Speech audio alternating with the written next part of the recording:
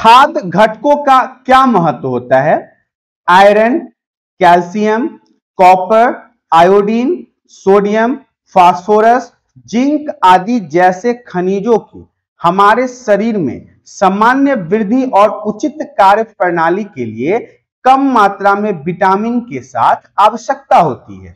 Iron haemoglobin का मुख्य घटक माना जाता है, जो ऑक्सीजन को उत्तकों तक पहुँचाने का कार्य करता है, जिससे हड्डी और दांतों के निर्माण के लिए कैल्शियम की आवश्यकता होती है। ये सारे चीज़ें खाद घटकों के महत्व को दर्शाता है।